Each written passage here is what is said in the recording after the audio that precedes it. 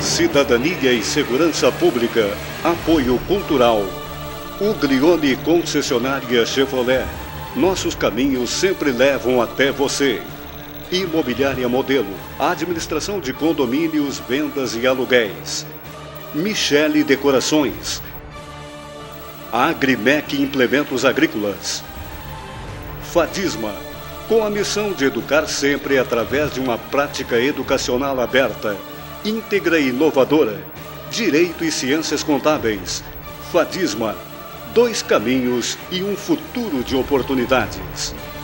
Parque Hotel Morotim oferece a você o melhor da hospedagem, apoio a eventos, lazer e gastronomia. Hotéis Morotim, com seu jeito de ser. Casa do EPISM, compromisso com a segurança do trabalhador. Visite nosso site www.casadoepism.com.br.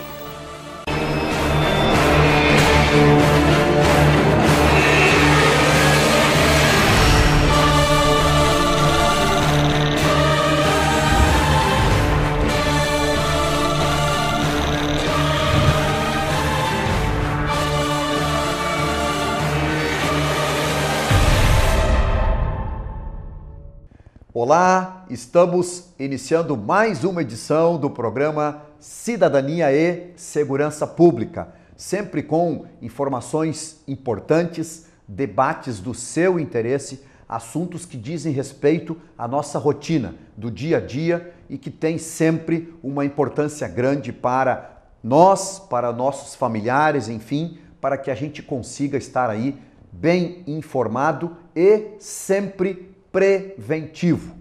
Aqueles que nos acompanham sempre sabem que é uma das palavras que eu sempre fui apaixonado, que é a prevenção. Quando nós estamos prevenidos, nós acabamos deixando sempre aquela situação da barreira e, e fazemos com que as coisas não aconteçam pelo lado ruim para nós. Desta forma, Estamos iniciando então aqui na TV Santa Maria, canal 19 da NET, mais um programa do Cidadania. Agradecendo sempre aqueles que colaboram conosco, aquelas pessoas e empresas que estão sempre ao nosso lado, nos dando a garantia desta programação. Parque Hotel Morotim, oferecendo a você o melhor da hospedagem eventos, lazer e gastronomia. Casa do EPI Santa Maria, compromisso com a segurança do trabalhador. Fadisma, com a missão de educar sempre, dois caminhos e um futuro de oportunidades. Uglione, 75 anos, acelerando sonhos. Imobiliária Modelo, administradora de condomínios, vendas e aluguéis. Michele Decorações, cortinas, tapetes, persianas, a sua casa de cara nova. E Intexol, aquecedores solares, respeito ao meio ambiente, a Intexol é do grupo Agrimec. Obrigado mais uma vez a todas essas empresas e pessoas que acreditam em nós e nos, de, e nos dão condições de nós estarmos aqui conversando com todos vocês. Hoje estamos aqui nos estúdios da TV Santa Maria com mais um convidado e um assunto que eu tenho absoluta certeza é do nosso interesse de forma geral. Estamos aqui com o Dr. Wagner Pompeu. O Pompeu é mestre em Direito uh, da Sociedade em Rede pela Universidade Federal de Santa Maria, professor da nossa Fadisma e pertence ao escritório Martini Medeiros e Toneto Advogados Associados. Aproveito também aqui a oportunidade para agradecermos sempre a esse escritório que nos dá um aporte, nos dá sempre profissionais para que a gente consiga aqui na TV Santa Maria discutir vários assuntos do interesse da comunidade. Pompeu, obrigado pelo teu apoio de sempre. Sempre que a gente manda algum convite para lá, Pompeu, por isso eu fiz esse agradecimento aqui.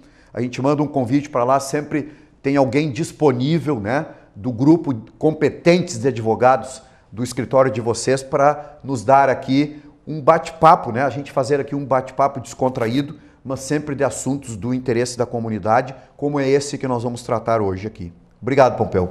Tudo bem, Vargas? Muito obrigado. Em, meu nome do, em nome do escritório, né, os nossos cumprimentos também aos telespectadores da televisão Santa Maria. É sempre uma satisfação enorme para mim e os demais colegas profissionais estarmos aqui nessa condição né, de colaboradores né, do programa e da emissora, né, no esclarecimento de temas jurídicos que têm toda essa importância social que tu revelasse agora há pouco. Obrigado. Pompeu, a, hoje a, a sugestão que veio para nós, nós estamos, Pompeu, e eu já tratei esse assunto é, é, parecido com esse que nós vamos é, é, comentar agora contigo, é a respeito da, desta globalização, se é, se é que nós podemos iniciar desta forma, eu acredito que sim. Esta globalização da informação. Hoje nós estamos é, é, num mundo é, é, totalmente informado, informado de forma instantânea, né? E vem o Facebook, vem o WhatsApp, vem todas essas redes de internet que nos dão plenas condições de, aonde nós estivermos, nós estarmos em comunicação direta com o resto do mundo inteiro, né? Então, Pompeu, o que eu preciso de ti, desse bate-papo que a gente vai fazer, e aproveitando, evidentemente, que, como eu falei no início, é uma, um item só do currículo do Dr. Pompeu, é que ele é mestre em Direito da sociedade em rede. Isso eu gostaria que tu explicasse primeiro, Pompeu, o que, que significa isso, para nós entrarmos neste assunto em que o nome já diz aqui que tu és o mestre nesse assunto, que eu tenho absoluta certeza nós vamos atingir o objetivo do programa de hoje. Perfeito. É, tu referiste bem, Vargas, que globalização é uma palavra-chave para a gente entender esse momento em que a nossa sociedade vive e atravessa hoje.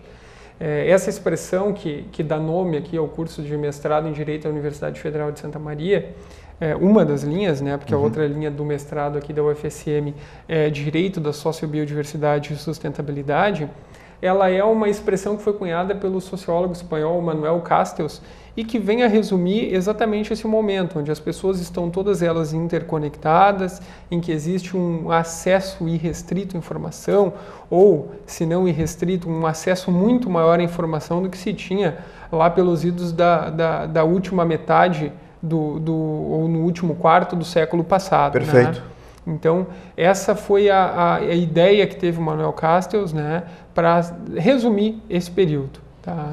Uhum. Pompeu, eh, só fazendo uma colocação aqui, eh, eh, tu falaste agora na, numa situação histórica da evolução, né? Quando nós falamos em, em datas, nós nos reportamos aí, parece que faz tanto tempo, e não faz tanto tempo assim, e eu me recordo muito bem né, da, da situação em que surge uh, aqui no Rio Grande do Sul, vamos falar em, em, questão gaúcha, né? Surge aqui no Rio Grande do Sul é, as pessoas vendendo então o celular, que ele reporta então lá o início da década de 90. Né? Então imagina que nós falando assim, Pô, mas é a década de 90, é agora, é, é, é muito recente. E desta, deste período em diante, foi muito, muito, muito acelerado a situação. Há pouco nós é, comentávamos é, é, num grupo de amigos, Pompeu, o fator todo que tinham algumas pessoas que elas ganhavam dinheiro com o telefone. Ou seja, elas compravam o telefone, né, porque é uma linha privada via CRT, e elas sublocavam aquele telefone e viviam da locação de telefones. Né? Então, isso aí tudo uh, acontecia até o início da década 90 e depois começou todo então esta mudança de perfil das comunicações. Né? Então, evidentemente que exigiu né, do profissional também da área de direito, como és agora o teu caso, uma especialidade, né, uma especialização nesses problemas que estão advindo por causa disso. A maior prova de que a nossa sociedade está modificando é exatamente isso, é fazer com que o próprio direito ele se modifique a ponto de é, que sejam criadas novas áreas de atuação. E o, e o, direito à sociedade em rede, chamado por alguns de direito digital, de, de direito eletrônico, uhum. é essa área do direito que vem a cuidar desses conflitos que acabam acontecendo nesse cyberespaço, que é o que a gente chama, né? uhum. né? Se a gente for analisar essa questão que tu falasse, Vargas, sobre os telefones, ela é extremamente importante. Em 2014, o Brasil, pela primeira vez, é, é, teve o número de celulares ultrapassando o número de pessoas. Né? Então já existe mais celulares no Brasil do que efetivamente Imagina. pessoas, né? Isso mostra essa expansão e hoje em dia a gente sabe que o celular, talvez a coisa que o, a, o consumidor menos uh, tenha cuidado na hora da aquisição é se ele faz a ligação, porque o pessoal se preocupa. É, perfeito, perfeito. O pessoal verdade. se preocupa mais com acessar as redes sociais, é, quais são os tipos de capacidade de memória, aplicativos. Aplicativos, né? né? E o que ele pode acrescentar. Na verdade, a ligação, que é o papel fundamental, acaba ficando até em, em segundo, em segundo plano, né? Então, realmente, e, e, tu falasse bem também na questão da, da, da, época, né, do ano em que isso começou a acontecer. Uhum. Se a gente for analisar os primeiros celulares que vinham, eles tinham um tamanho considerável. Exato, eram, eram os Motorola, aqueles grandalhões com, com duas, dois tipos de baterias, né? Vinha a bateria é, com a bateria maluca, grossa, Exatamente. aí tinha a bateria slim, que era fininha e era tudo. Uh, uh, Depois imagina. se precisava levantar antenas, precisava abrir. Isso mesmo. Depois chegamos naquele slider que conseguia deslizar com o sistema de trilho e aí foi evoluindo, né? A internet ela também segue essa franca evolução. Na verdade, ela surgiu né, na década de 70, ela foi um, um sistema uh, criado pelo sistema de defesa, né, os militares americanos que naquele período em que eh, viviam a Guerra Fria, eles precisavam então, Vargas, eh, encontrar uma forma de manter os seus arquivos a salvo de alguns ataques que poderiam acontecer da, por parte da União Soviética. Então eles criaram esse armazenamento que não acontecia de maneira física, não existia um depósito para esses documentos. Eles criaram esse armazenamento digital que mesmo em um caso de ataque por parte do, da, dos russos, né, uhum. lá da União Soviética, e faria com que esses documentos estariam esses, preservados. Est estivessem preservados. A partir dali, esse sistema que foi criado pelos militares norte-americanos foi estendido a algumas universidades e depois disso, então, foi né, lançado mundo afora mundo nesse afora. sistema que nós temos hoje. Se a gente for verificar, a internet domiciliar no Brasil chega por volta do ano de 95. E de lá para cá vem se expandindo de uma maneira vertiginosa, a ponto de hoje existir até doenças né, diagnosticadas, né, Já... fobias por ficar Perfeito. sem o acesso à rede. Perfeito. Foi apresentado agora, há poucos dias aí, num programa de televisão, exatamente isso. Pessoas que já se tornaram dependentes da tecnologia. Da tecnologia. Naquele caso se tratava, acho que do celular, acho que do celular, fantástico. Exato, né? para é, é, pessoas com tratamento de que recolhiam o celular e as pessoas ficavam 24, 48 horas sem estarem manuseando o celular. Então, quer dizer, olha o estado em que nós estamos dentro Exato. desse progresso todo. Nessa questão do celular existe uma síndrome, que é a síndrome do celular fantasma, que ela serve para explicar aquela pessoa que está sempre achando que o seu celular está tocando, enquanto na verdade ele não está tocando. Né? Então, e a gente sabe que não precisa ir muito longe, existem, existem pessoas que no dia a dia estão mais acostumadas a ficar no celular do que fora dele. Sim, né? sim, sim. Do que fora dele. Então, isso são alguns traços que mostram que realmente a gente vive nessa sociedade em rede, onde está cada vez mais difícil estar alheio à tecnologia. Na verdade, hoje, querer viver sem tecnologia é caminhar na contramão de tudo aquilo que a gente tem por mais é, concreto no sem dia a dia. Dúvida. Pompeu, agora tu falando, me, me, me vem em mente a. Tem uma propaganda de, de, do modelo de veículo, eu não estou lembrando agora, de repente tu vai lembrar. O sujeito é aquele que sai de casa e ele esquece o celular em casa. Aí ele sai em casa, entra no veículo, né? Uhum. Quando ele sai no carro, o, o, o, o sistema dele de, de, de, comunicação do carro diz que ele não está conectado, o telefone não está conectado. Uhum. E aí ele lembra que ele esqueceu o celular. E aí ele está totalmente nu, né? Ele está sem roupa, nu. Então é desta forma que as pessoas se imaginam quando esquecem o celular elas começam a se tocar e dizem, opa, eu esqueci meu celular. Então, se eu esqueci o celular, eu estou pelado, eu estou nu. Né? Então ele, ele acaba voltando em casa para buscar o celular. Aí quando ele se conecta no, no, no carro ao celular, o, o, celular no carro, ele se torna novamente lá que ele está bem vestido. Então é, é essa a, o, o, resumo né, dessa metáfora, consciência. Metáfora. Uma metáfora que foi Perfeito. utilizada para descrever como essas pessoas né, acabam se sentindo na ausência né, do celular, na Exato. ausência muitas vezes da tecnologia. Né? E Pompeu, como que está os problemas envolvendo? Nós é, fizemos aqui uma, uma, uma síntese é, até de um problema aí médico e psicológico, né, disso que está acontecendo. Como que está a situação hoje jurídica envolvendo isso? Quais os problemas que estão advindo, né, por causa de, desta desse boom da comunicação aí que nós falamos? É, esse assunto da tecnologia e da interferência da tecnologia no dia a dia da, das pessoas, ela é encarada do ponto de vista psicológico, psiquiátrico e também, obviamente, jurídico, né? Daria uma boa mesa redonda se a gente pudesse algum dia aqui, Vargas, reunir mais um psicólogo, um psiquiatra, né? Perfeito. Para também discutir, né, de um modo global, os efeitos desse Olha, é um grande debate, hein? É, desse momento que a gente vive hoje, né? Do ponto de vista jurídico, existem né, necessidades que são prementes, no sentido de que surjam novas legislações para tutelar direitos que, se analisarmos hoje na Europa, já estão positivados e já tem regras bastante específicas. Né?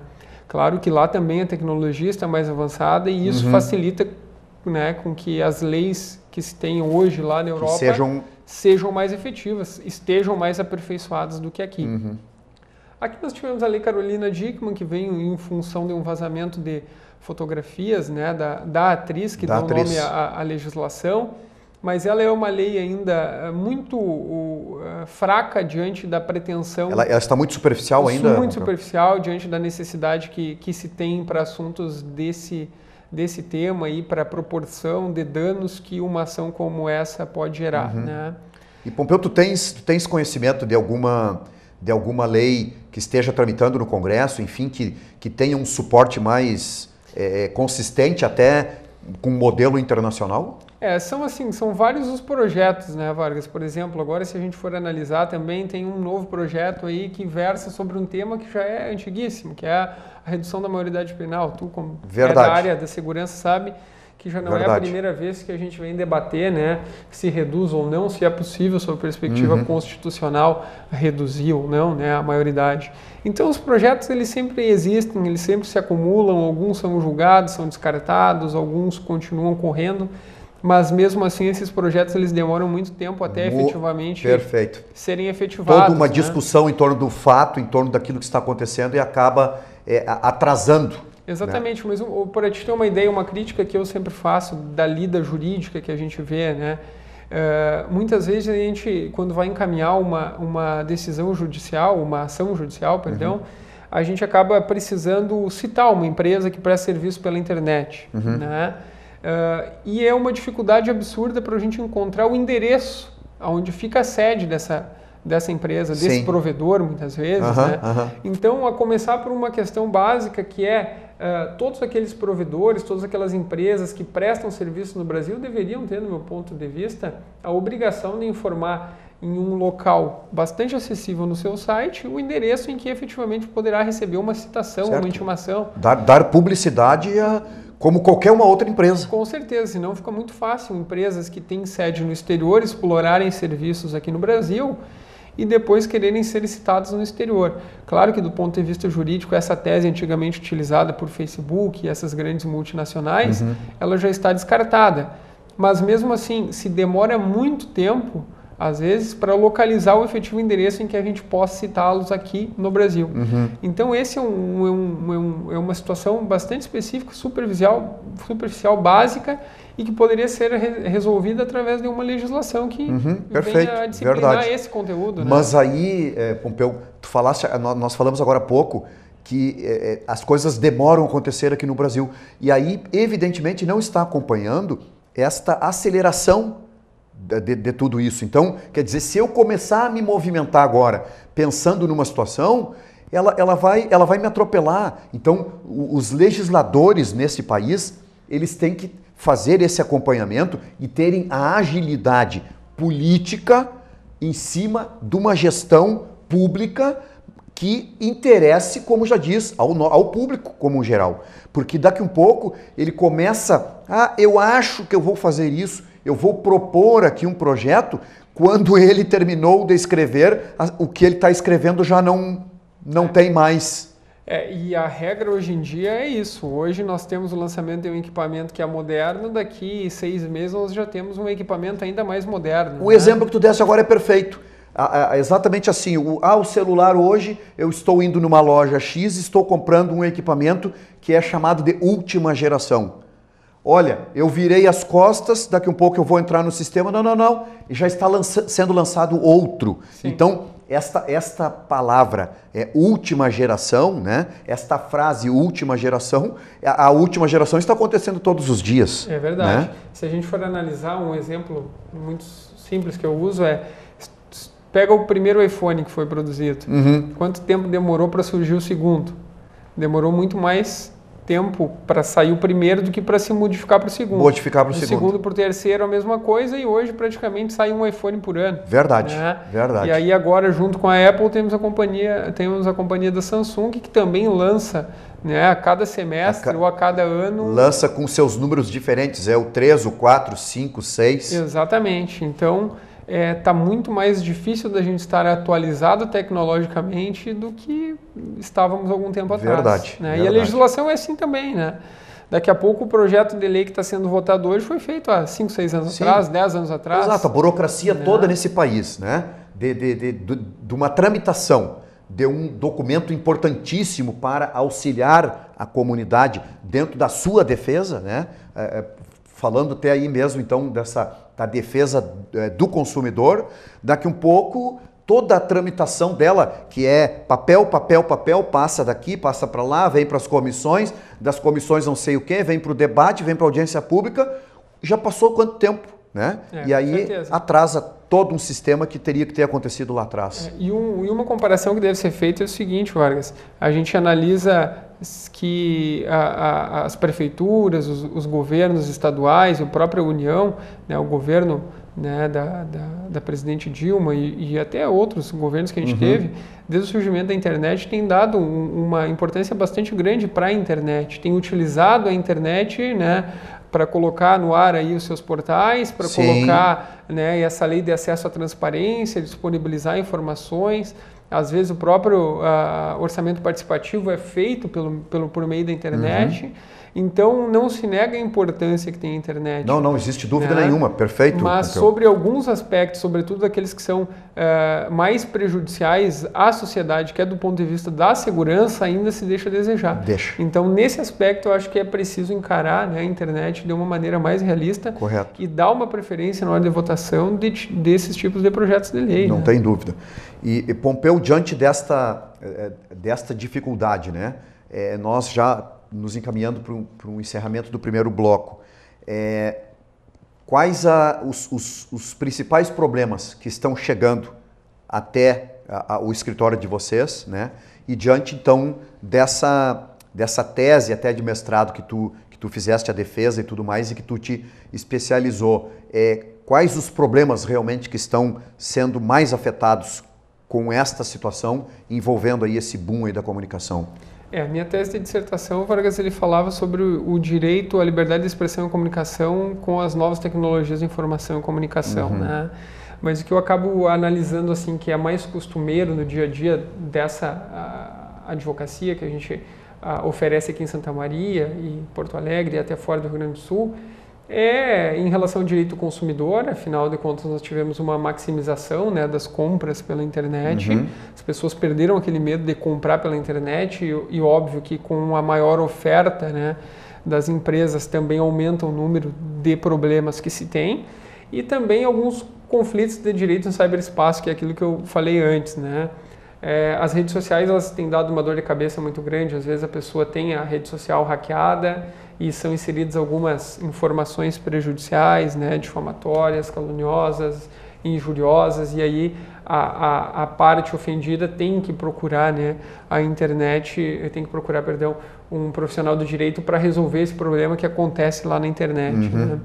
Brigas também entre pessoas particulares com xingamentos recíprocos acontecem, né? a gente não pode negar. Sim, acaba criando um atrito interno ali na, na... Exatamente. Mas uma das coisas que também está chamando muita atenção agora é o compartilhamento de imagens, o compartilhamento de é, conteúdos via WhatsApp, porque diferente do Facebook, onde tu hospeda esse conteúdo em um provedor, no WhatsApp tu compartilha e tu acaba baixando ele para o teu celular, um arquivo que é pessoal daquele que porta né, o dispositivo móvel. E isso tem trazido uma isso dor aí na situação do WhatsApp que está Do tá WhatsApp. Isso tem gerado uma dor de cabeça muito grande para os operadores, Porque ao contrário da rede social, não tem como da rede social Facebook, não tem como a gente ir lá e determinar a exclusão, né? Ah, tá eu... dentro do teu celular. Pompeu, eu quero que tu explique muito bem isso. Por quê? Porque é, eu acredito assim, ó, até dentro do, do, da tua experiência que tu estás agora, é, nós fazermos esse, este comparativo, né? Facebook, WhatsApp, no segundo bloco. Tá Perfeito. Tá bem? Pode. Perfeito. Vocês estão acompanhando então e verificando que é, este é um assunto é, importantíssimo também, essa conversa com o Dr. Pompeu, que nós não estamos falando aqui é, numa situação envolvendo faixa etária, não existe mais. Hoje nós estamos aí com todas as faixas etárias se utilizando do Facebook e do WhatsApp. Não existe mais a classe social, né? uma determinada classe social se utiliza mais ou menos, não. Então, é sim um assunto de interesse de toda uma comunidade. Podem ter certeza disso. E algumas dicas que o Dr. Pompeu vai nos dar aqui no segundo bloco serão importantíssimas para nós termos sempre em nossa mente para nós não cairmos em algumas armadilhas aí. Um breve intervalo, não saia daí, já voltamos. Cidadania e Segurança Pública, Apoio Cultural. Uglione Concessionária Chevrolet nossos caminhos sempre levam até você. Imobiliária Modelo, administração de condomínios, vendas e aluguéis. Michele Decorações. Agrimec Implementos Agrícolas. Fadisma, com a missão de educar sempre através de uma prática educacional aberta, íntegra e inovadora. Direito e Ciências Contábeis. Fadisma dois caminhos e um futuro de oportunidades. Parque Hotel Morotim oferece a você o melhor da hospedagem, apoio a eventos, lazer e gastronomia. Hotéis Morotim, com seu jeito de ser. Casa do EPISM, compromisso com a segurança do trabalhador. Visite nosso site www.casadoepism.com.br Centro de Valorização da Vida Bom Dia, estou aqui para lhe ouvir. Os voluntários do CVV Santa Maria prestam um serviço de apoio emocional gratuito e sigiloso a todos que desejarem compartilhar seus sentimentos.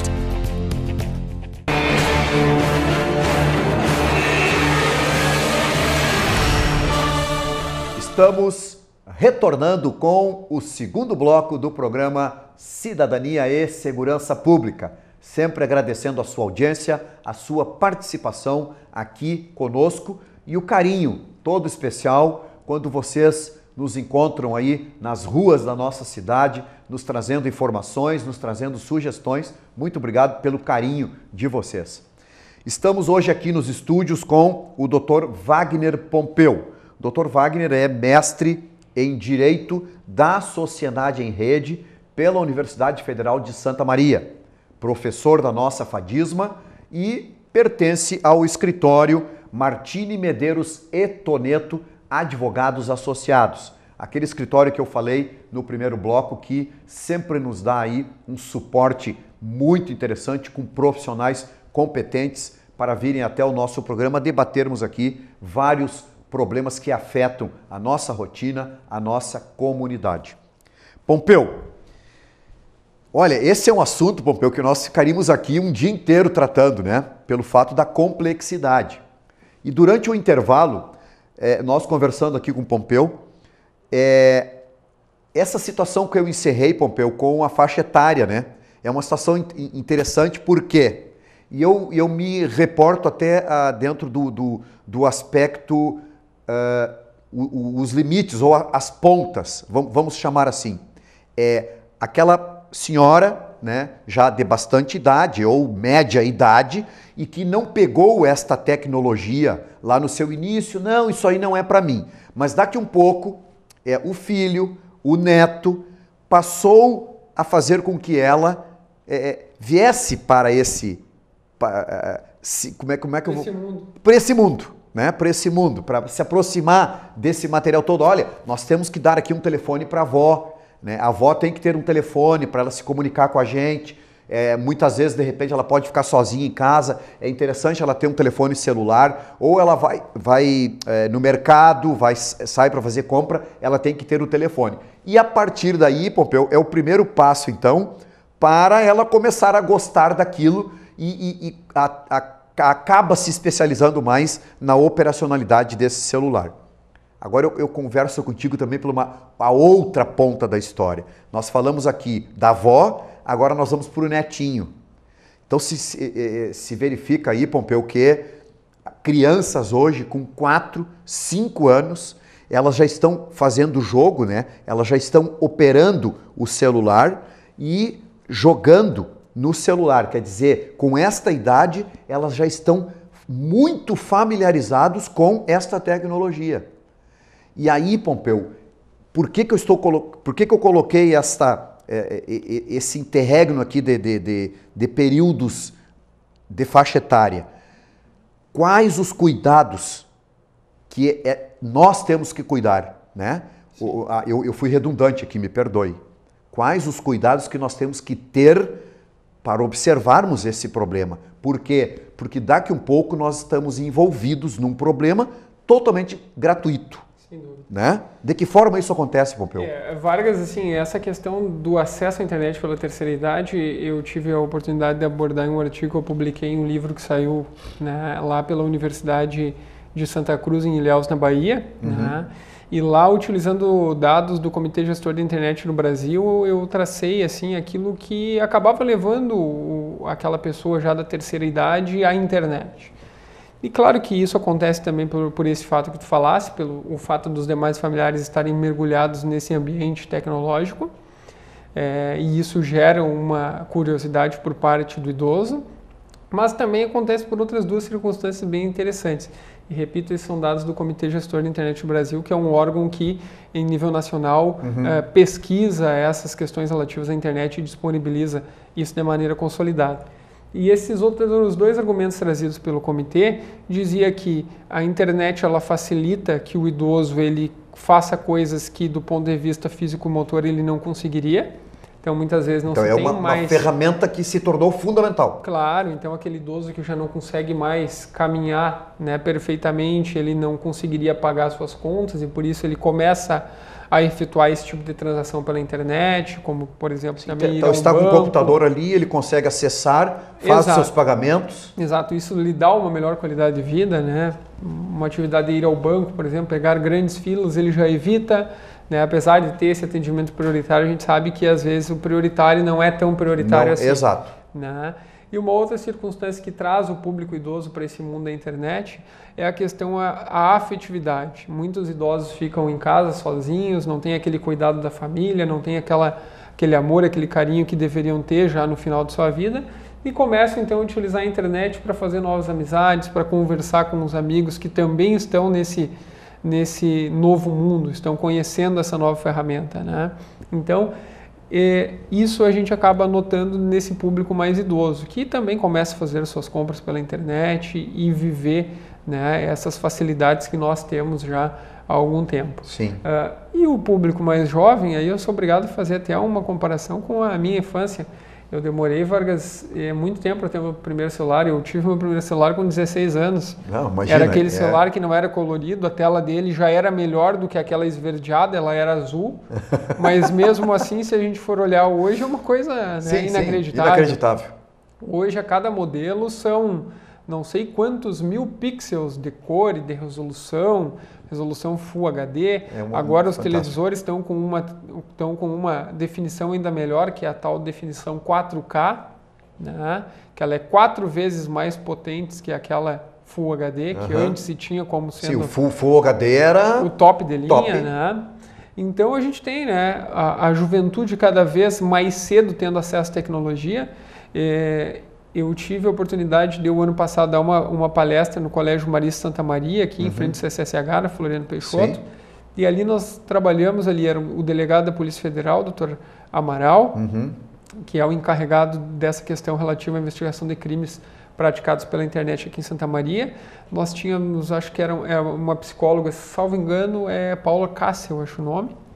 E, e, eu, né? Três profissionais, a intermediação era do Bisonho, aqui, colega da casa, uhum, isso, né? Isso. E nós falamos sobre os perigos da internet nesse dia a dia do jovem, né? E, e ali ela abordou bem essa questão psicológica, né? Dos efeitos psicológicos para crianças que muito cedo tinham acesso à tecnologia. E eu comentei com ela, Vargas, uma coisa que eu gostaria de compartilhar com vocês com os telespectadores aqui Sim. da TV Santa Maria. Eu estava o ano passado em uma janta e eu, e eu vi que ah, uma menina muito jovem, né, uma criança, né, tava, ainda nem caminhava e estava ali, né, olhando, acho que era o aplicativo né, da galinha pintadinha. Olha aí. E passava o dedo, passava o dedo, passava o dedo. Em conversa com o pai dessa menina, Uh, ela, ele confidenciou a mim que um dia entregou um livro na mão dela e que ela passava o dedo na gravura do livro achando que era um tablet. Tá. Então, para te ter ideia do reflexo. O reflexo né? psicológico que está causando nessa meninada que, está. na criança. essa pensou? geração que está chegando aí. Então, para te ter uma ideia, né? Tu já pensou, né? Daqui a pouco. Muito né? interessante. E, Pompeu, dentro do aspecto é, de situações envolvendo aí esses crimes, esse, esses problemas. É, se fala muito no hacker, né? Quais é, é, as sugestões que tu nos dá aqui? E aí há pouco tu falava daquela senhora de mais idade ou aquele senhor de mais idade que por problemas é, é, de, de, alguma é, doença temporária ou permanente não estão se deslocando ou não podem se deslocarem até um banco e tudo mais e acabam efetuando os seus pagamentos, as suas compras via internet. Evidentemente que essas pessoas elas têm que terem um cuidado muito grande no aspecto de serem hackeadas, e é aí que eu quero que tu explique para o nosso telespectador, hackeadas no sentido de esse hacker pegar esta essas informações importantes da conta bancária, da sua senha e acabar então causando um prejuízo enorme para, essa, para esse usuário, né? Isso está sendo muito comum, Pompeu? É, o fato desse público idoso ou esse público muito jovem estar acessando a internet, estarem começando a conhecer esse mundo que é a internet, acaba expondo essas duas faixas etárias a um risco muito maior do que aqueles que já estão mais familiarizados com a internet. Sim. Se a gente for analisar, sim, Vargas, é, o que, que, é mais comum em termos de golpe pela internet hoje? Justamente são aqueles e-mails, aqueles spams que são enviados, né? Uhum. Em nome do Fórum, em nome da Polícia Federal, em nome da Receita, que são órgãos que definitivamente não mandam e-mail para qualquer pessoa que seja, né? E que aí pede, olha, clique aqui, acaba clicando e através desse clique eles vão capturar essas sim, informações que precisam. invade o computador, se consegue extrair conteúdo ou mesmo copiar senhas que possam vir a ser digitadas, uhum. né? Ou alguns, uh, alguns problemas de consumo, mas que aí não chegam a ser golpes, a, não ser que tu compre em um site que tenha uma procedência duvidosa, que aí pode ser simplesmente... É uma outra coisa que tem que se cuidar, tem um, que saber da onde está se comprando. Exato, pode ser uma fachada para que tu vá lá, emita uma nota, faça um pagamento para uma empresa que definitivamente não existe, aí uhum. sim isso pode ser caracterizado como um golpe, mas em se tratando de direito consumidor, o, o problema para o consumidor não acontece só através disso, acontece através de empresas listas e que têm uma má prestação de serviço Sim. também, né?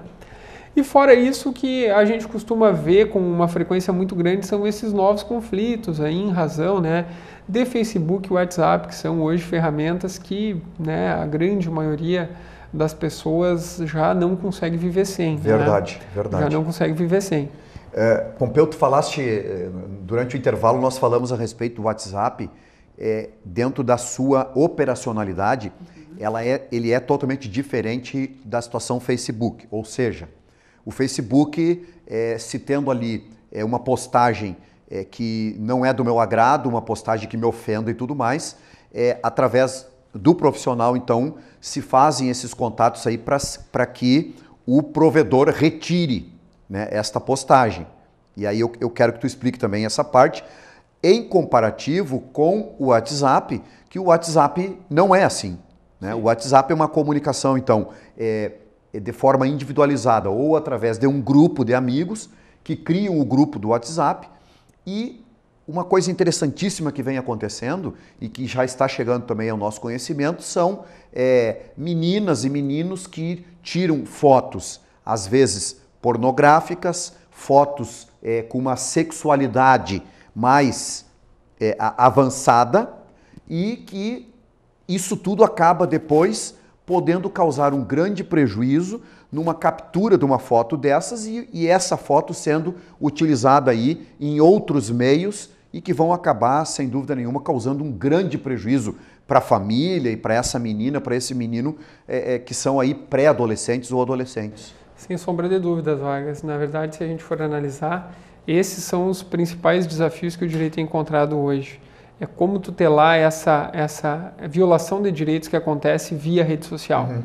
E aí a gente só consegue responder a contento essa pergunta que tu fizesse se a gente for analisar a questão operacional dessas duas plataformas que hoje são hoje as mais acessadas no Brasil e no mundo. Né? O Facebook ele é uma rede social que se caracteriza né, nos mesmos moldes daquilo que foi o Orkut. Né? Ele tomou o espaço que era do tomou Orkut. o espaço. O Orkut hoje ele deixou de existir, né? E ele se caracteriza então por uma comunidade de amigos, onde tu vai ali acessando, né, encontrando conhecidos, adiciona e compartilha com essas pessoas ou até mesmo com aqueles que não são teu, teus amigos. Uhum determinados conteúdos, né? mensagens escritas, vídeos e também fotos. Né? Então, se tu, Vargas, posta lá no teu Facebook uma fotografia, essa fotografia ela fica alocada no provedor de serviços do próprio Facebook. Certo. Né? Caso a gente precise fazer essa remoção dessa foto, né, sendo ela ofensiva a terceiros, uhum. a gente vai contactar, né, através de um processo judicial, o provedor. Então, o Facebook vai ser intimado pela justiça a remover aquele conteúdo X que é prejudicial a ti. E Pompeu, qual a celeridade disso? Isso acontece de forma rápida? Como que acontece? Olha, nós já conseguimos aqui em Santa Maria através de liminar e aí a liminar ela é cumprida em um período bem razoável de tempo, certo. né? Questão de 15 dias no máximo, o conteúdo já está definitivamente já está. retirado, uhum. O que em termos de justiça é um, um período é, bastante rápido, né? Sim. E, e, é geralmente esse o período que uhum, se demora. Uhum. Claro que também, né, Vargas, o que a gente tem que analisar é que não é toda e qualquer coisa que tu entenda que seja ah, ofensivo a ti que vai ser é que, repente, retirado. Eu, né? eu faço essa leitura, né? Mas aí de forma legal. Exato. É, muitas vezes o pessoal nos, nos procura, né, para uma informação jurídica e, e, no sentido de que não gostou de determinado conteúdo e a gente faz uma análise e diz, olha é muito superficial para justificar uma remoção de conteúdo, uhum, né? Sim. E nós já tivemos casos aí de pessoas famosas procurando a justiça por esse fundamento também. Não sei se tu recorda da questão da Xuxa. Sim. Há um tempo atrás, né, ela fez aquele filme Amor Estranho Amor, Exatamente. onde ela protagonizava com um, uma, um, menino, um, menino, menor de idade, um menino, é. uma cena que é... Essas imagens correram o mundo. Correram o mundo e ainda estão na internet até hoje. E o que, que acontece? É, a partir daquela, daquela gravação, começaram a fazer associações Xuxa, pedófila, Exato. Xuxa, pedofilia. E ela ingressou, Vargas, com um processo que foi a, analisado pelo STJ, e o STJ determinou que não fosse retirado o conteúdo que ela solicitou.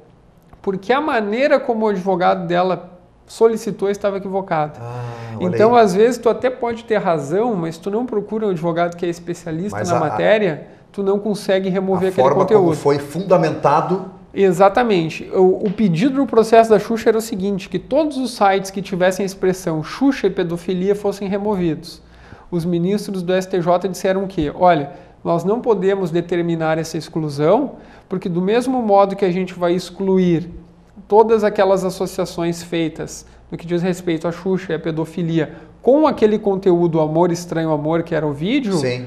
né? E acabar gerando com que se excluísse também aquela outra entrevista que ela deu, por exemplo, no Fantástico, dizendo que quando jovem tinha sido vítima da pedofilia. Perfeito. Então excluiria tudo, prejudicaria o acesso à informação e o direito à informação daqueles terceiros que não procurariam aquele filme ofensivo, uhum. mas que procurariam a entrevista que ela própria concedeu, de Dizendo modo consciente, e né? exatamente, levantando uma bandeira em prol né, desse assunto. Então, por mais razão que tu tenha, se tu não procurar o profissional adequado e que saiba realmente aquele que tenha conhecimento tenha realmente... conhecimento de causa, né? Não só da causa, mas da maneira como operacionalizar essa instrumentalizar esse pedido, sim, sim. pode acabar gerando esse problema de o processo correr durante muito tempo e chegar lá no final Exatamente, e, aí e acabar, no fim, é, vai acaba publicitando muito mais do que se, né, do que se tivesse ficado calado aí. Um outro caso marcante foi da Daniela Scarelli, né, que teve um vídeo postado na internet dela, né, em relações mais íntimas em uma praia. Na praia, aquela, E a aquela... partir do momento que ela entrou com o processo, muitas pessoas mais passaram a procurar o Procurar vídeo para ver, ver. né, porque não tinham tido Começou a acesso chamar ao a conteúdo. atenção. Exatamente. E naquele caso da Daniela Scarelli, Vargas, a decisão de primeira instância foi no sentido de não retirar o vídeo, porque entendeu que ela estava em um local público, então ela correu o risco, Ela de, correu o de risco. ser flagrada. Ela assumiu em, em correr esse risco. Mas o Tribunal de Justiça de São Paulo, uma decisão extremamente interessante, mandou remover, porque disse que até mesmo em local público tu tens o direito à privacidade. Ó, então, Né? gerou uma- um, um ponto aí que pode ser até uma jurisprudência. Exato. E a partir disso, então, se faz uma releitura do que vem a ser a privacidade, né? Sobretudo no que diz respeito a, Verdade, a sim. incidentes como esse. Sim. né? Pompeu, fazendo esse comparativo então com o WhatsApp, né? Que se tornou aí um, uma, uma situação totalmente corriqueira. Hoje o WhatsApp hoje ele está bombando em todos os lugares, né? E uma coisa interessante aqui, nós fazemos a abordagem. Sempre quando nós temos uma situação envolvendo é, a- a descoberta de uma coisa boa, ela também serve para ser canalizada pelo lado ruim, né? para aquilo que não presta. E justamente isso nos interessa, é, é a questão de 10, 15 dias atrás, eu recebi um WhatsApp dentro de um grupo é, que uma pessoa dizia, olha, a Brigada Militar está fazendo uma blitz nesse momento na, rua, na, na Avenida Presidente Vargas. Quando eu verifiquei aquilo, imediatamente eu respondi e solicitei para aquela pessoa que ela não fizesse mais isso, porque ela estaria colocando em risco eu, outras pessoas honestas, por quê? Porque o objetivo daquela, daquela blitz, é, é, daquela, daquele ponto de barreira da Brigada Militar era justamente para tirar de circulação é, elementos perigosos, é, elementos com dívida na justiça, arma, munição, droga e elementos alcoolizados que poderiam vir a causar um acidente fatal aí, inclusive com um familiar meu. Aquela pessoa imediatamente ela se deu conta, né? E me respondeu de volta, me pedindo desculpa, que ela não tinha se dado conta disso. Então veja bem que impulsiona as pessoas a praticarem algumas coisas até que elas não se dão conta naquele momento. Então, isso nós temos que ter um cuidado muito grande, né, Pompeu? Sem sombra de dúvidas, a internet ela é sempre, deve sempre ser encarada né, com dois olhos, dois lados. Né? Ela, assim como ela é um instrumento que pode facilitar bastante a nossa vida, ela pode trazer esse tipo de reflexo também, né, Vargas?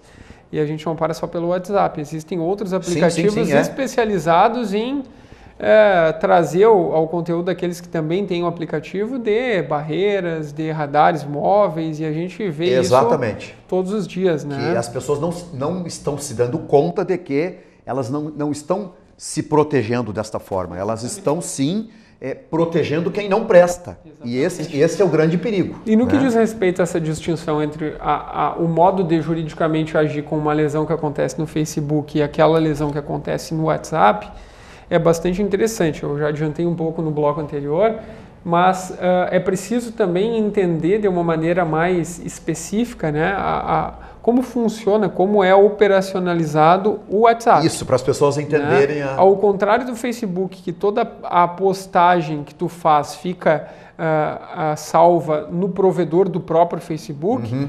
o WhatsApp tu lança em um determinado grupo e a pessoa baixa para o seu celular. Mas não existe, a princípio, um conteúdo que fique salvo em algum servidor do, Tá, então do ele fica- WhatsApp. Ele está salvo é no, no meu aparelho. Ele é disponibilizado no teu próprio aparelho Sim. e a partir do momento que tu posta ele no grupo, as pessoas têm um link para copiar direto do teu celular. Aham. Eu estou desenvolvendo um trabalho sobre a responsabilização civil no caso de violação e compartilhamento de imagens via WhatsApp, justamente para destacar essas diferenças, né?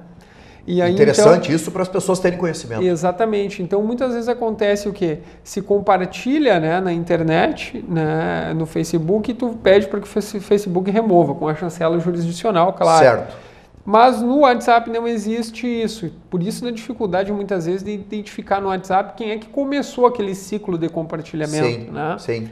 Mas não sim, tem o, dúvida. o ponto inicial, então, aí é praticamente impossível de se É praticamente verificar. difícil, mas daqui a pouco, assim, claro que a questão pericial, né, e aí já tem delegacias especializadas em crimes que ocorrem pela internet, estão avançando a ponto de daqui a pouco chegar e descobrir quem Certo, iniciou. certo. Mas Pela- é um trabalho Pelo progresso todo. bem mais difícil do que aquele que se faz Pompeu, via eu, eu, Facebook. eu acredito assim que uma das principais coisas que nós já devemos deixar aqui é bem claro para aquelas pessoas que estão eh, nos assistindo, é, e eu fa- falei aqui no início da abertura do programa, é o fator prevenção.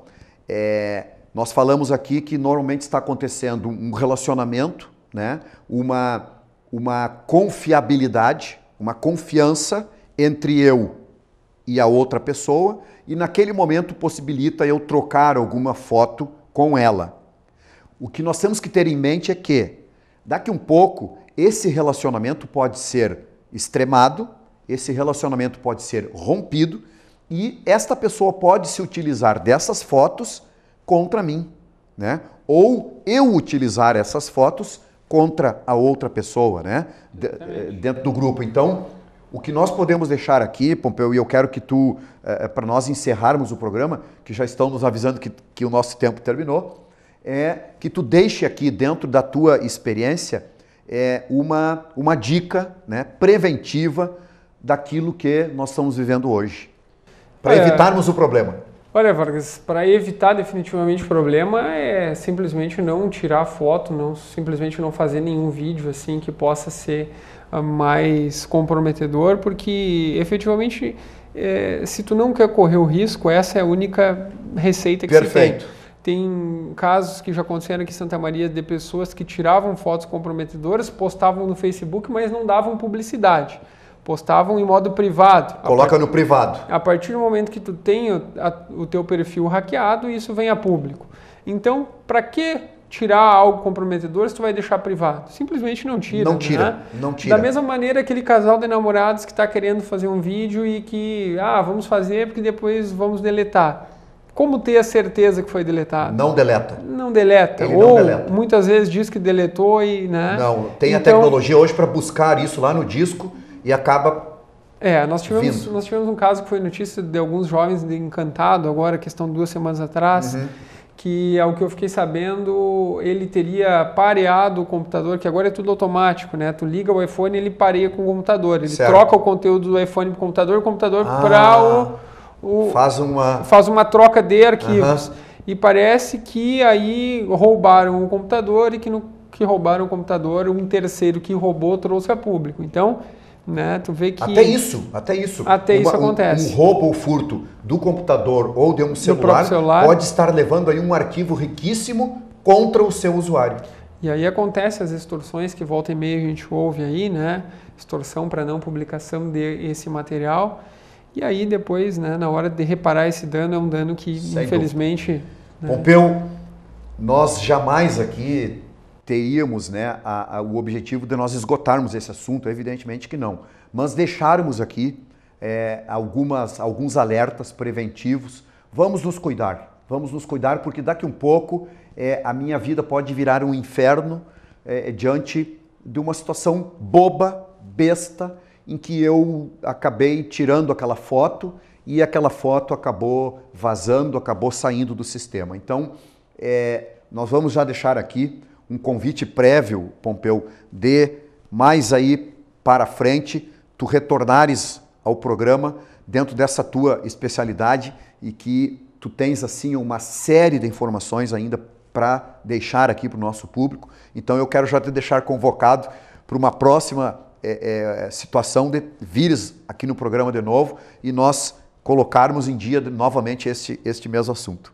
Olha, Vargas, enquanto sócio da Martino Medeiros e Toneto Advogados Associados e professor de Direito aqui da Fadisma, eu estou à disposição para sempre que possível colaborar com o programa, com a emissora. Nós né? sabemos disso. Nesse e em outros temas que possam ser importantes para vocês. Muito obrigado, Ah, o agradecimento obrigado. é todo meu, mais uma vez. Obrigado. Pompeu, é, é, fica aqui então este agradecimento, né? E eu gostaria que tu levasse até os profissionais é, lá do escritório que como eu disse no primeiro bloco e enfim durante o programa, que são sempre é, é, nossos aliados aqui, sempre que a gente pede um apoio, imediatamente vocês nos dão esse apoio. Leve esse abraço então para todos lá. Será tá bem? entregue. Muito um grande obrigado. abraço. Bem, vocês viram que o assunto ele é muito complexo, né? ele é polêmico e que, como eu falei no início, devemos agir sempre de forma preventiva. Vamos conversar com as nossas crianças, vamos conversar com os nossos jovens, é, principalmente este, esta faixa etária que acha que aquele linguajar do jovem, isso não vai dar nada e daqui um pouco vai trazer um incômodo para a família, vai trazer um incômodo para a escola, enfim, para aquele grupo social aonde nós vivemos. Então, vamos evitar de estar tirando, estar tirando fotos é, pornográficas, é, seminuas ou fazendo algumas filmagens que não levam a nada. Vamos deixar isso de lado, porque a informação ela é compartilhada sim e o Dr. Pompeu nos explicou tudo como funciona aqui. Então vamos nos preservar para nós evitarmos incômodos para o futuro. Dessa forma eu agradeço mais uma vez a sua audiência, agradeço o seu carinho, agradeço estar sempre conosco aqui durante toda a semana.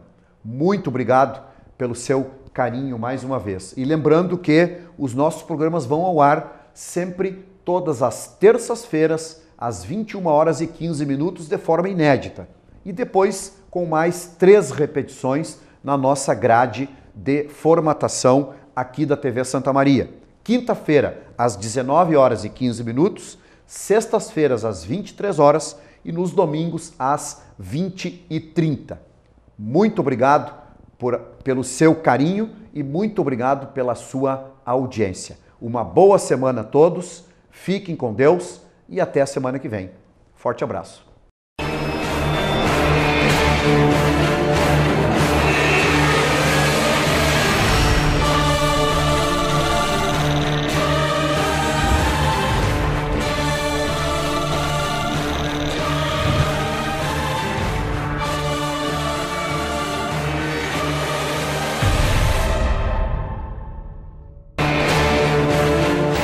Cidadania e Segurança Pública. Apoio Cultural. Uglione Concessionária Chevrolet. Nossos caminhos sempre levam até você. Imobiliária Modelo. Administração de condomínios, vendas e aluguéis. Michele Decorações. Agrimec Implementos Agrícolas. Fatisma. Com a missão de educar sempre através de uma prática educacional aberta íntegra e inovadora. Direito e Ciências Contábeis. Fadisma. Dois caminhos e um futuro de oportunidades. Parque Hotel Morotim oferece a você o melhor da hospedagem, apoio a eventos, lazer e gastronomia. Hotéis Morotim, com seu jeito de ser. Casa do EPISM, compromisso com a segurança do trabalhador. Visite nosso site www.casadoepism.com.br